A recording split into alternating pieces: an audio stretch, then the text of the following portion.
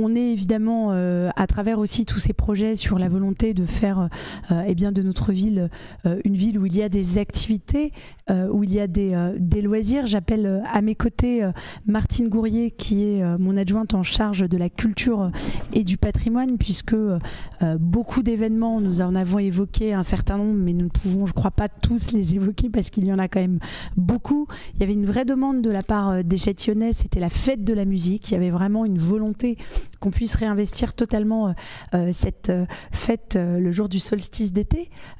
et eh bien, vous l'avez vu depuis deux ans maintenant à travers un grand concert où nous mettons en avant les jeunes talents châtillonnais qui participent au tremplin jeune, mais aussi avec des musiciens amateurs.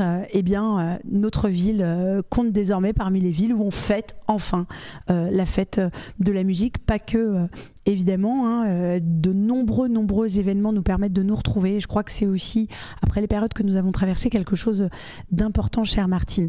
Nous avons une question de Paul et de Jacqueline euh, qui concerne euh, eh bien, le cinéma, la rénovation du cinéma, donc qui est magnifique à l'extérieur et à l'intérieur. Donc c'est quelque chose de positif parce que c'était aussi un pari hein, que cette fresque de Sifat euh, on parle de la façade de la médiathèque qui le sera également. Est-ce que ce sera en 2023, chère Martine?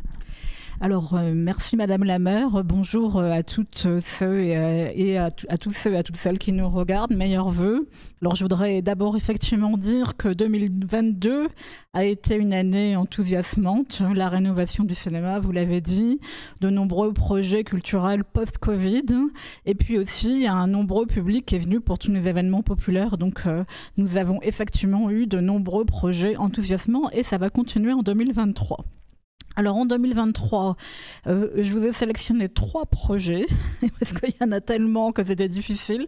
Alors d'abord, euh, effectivement, la médiathèque. Oui, effectivement, la médiathèque va être rénovée. Donc la façade de la médiathèque va être rénovée. Donc travaux qui vont commencer euh, bientôt. Donc on devrait inaugurer ça à l'automne 2023. Et puis un point très important sur la médiathèque qui attire beaucoup de monde. Hein. Vous, l'avez dit, les nuits de la lecture ont été euh, vraiment un succès. Point important à noter dans vos agendas en mai, euh, la semaine où on va fêter les 40 ans de la médiathèque. Donc euh, beaucoup de sujets sur la médiathèque cette année, donc les 40 ans et la rénovation de la façade. Deuxième sujet que je voudrais souligner, c'est la maison des enfants. La Maison des Enfants euh, continue à avoir euh, beaucoup de public, attire beaucoup de monde. Et cette année, grosse nouveauté, conformément à notre engagement, la Maison des Enfants s'ouvre à un public plus large. Et nous avons, et nous en sommes très fiers, hein, euh, le service jeunesse qui va venir pendant les vacances à la Maison des Enfants. Et puis bientôt aussi les centres de loisirs. Donc élargissement du public de la Maison des Enfants, c'est un point très très important. Et enfin, troisième sujet que je voudrais euh, souligner, c'est qu'on a une saison euh, culturelle et, culturelle et festive, euh, vous l'avez dit, très très importante. Alors je ne vais pas dire tous les événements parce qu'à ce moment-là, on est encore à la fin de la soirée. Un point très important et nouveau, nous allons avoir cet automne un festival des musiques du monde donc cet automne, un festival des musiques du monde en lien avec euh, donc la ville, le conservatoire et le théâtre. Donc je pense que ce sera un bel événement. Donc moi, je suis pas comme Madame Gillard, je vous donne pas rendez-vous uniquement en mars. Je vous donne un rendez-vous tous les week-ends de l'année.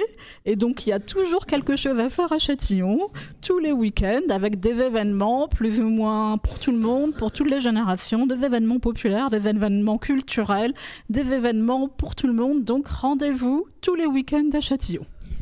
Merci beaucoup, euh, chère Martine, pour cet enthousiasme. Et puis, je crois qu'il y a eu aussi euh, récemment un très beau concert dont on peut se féliciter euh, au niveau de l'église euh, euh, Notre-Dame du Calvaire et justement en partenariat entre les services culturels et le conservatoire. Et je crois que les deux journées d'organisation ont été assez denses, mais avec un résultat absolument fantastique. Donc voilà, on a vraiment des beaux talents qui convient de continuer de mettre à l'honneur. Les 40 ans de la médiathèque, Max Paul Fouché, ça va évidemment être un moment extrêmement fort aussi, parce que cette médiathèque, elle a accompagné beaucoup d'entre nous à travers euh, euh, eh bien, euh, leur vie de jeunes citoyens, puis de d'adultes, et continue encore à, être à disposition de chacune et, et de chacun.